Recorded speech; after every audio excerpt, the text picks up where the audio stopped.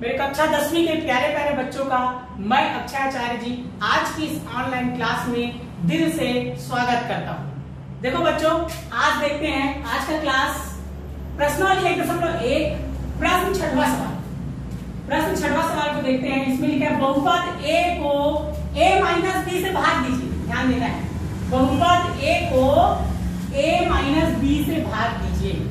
तो पहले बता के पहले हमको पहचानना भाज्य कौन से पहले वाला क्या होता है? भाज्य। इसको इस प्रकार लिखेंगे। भाज्य बराबर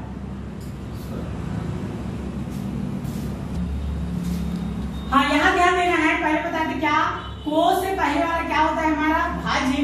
तो भाज्य बराबर यहाँ लिखना है। भाज्य बराबर क्या हो गया? ए स्मॉल लेटर में ए लिखा है। से से पहले वाला क्या होता है? भाजक। क्या होता है? भाजक। यहाँ क्या लिखेंगे? भाजक बराबर क्या हो गया?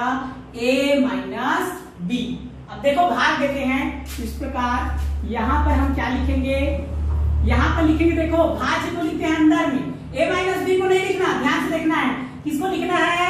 ए को। बहुत सारे बच्चे कंफ्यूजन होता है, उनका लिख देते हैं। तो ध्यान देना है ए को यहाँ लिखना है और ये जो भाजक है ए माइनस बी इसको यहाँ पर लिखना है। अब फिर पहले बताया था, जो पहला नंबर पे है, उसको जैसा का तैसा हम क्या करते हैं? उतार देते हैं। तो देखो ए को हम क्या करेंगे? हम वैसे ही उसको क्या करेंगे? आग बंद करके उतार देंगे। अब देखो, अब उसके बाद क्या करना रहता है?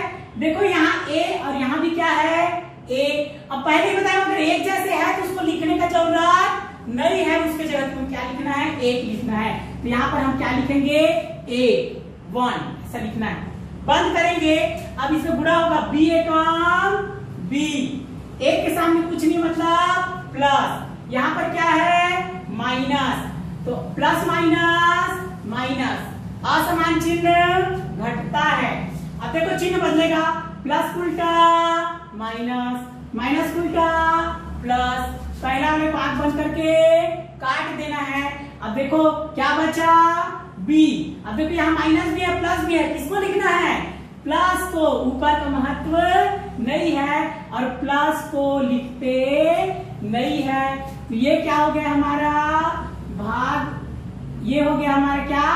शेष फल और वन क्या हो गया इसका?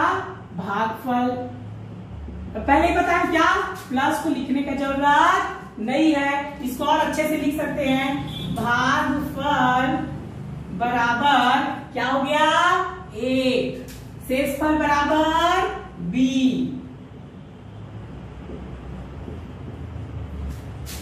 उम्मीद है आपको बहुत अच्छे से समझ में आया होगा। धन्यवाद।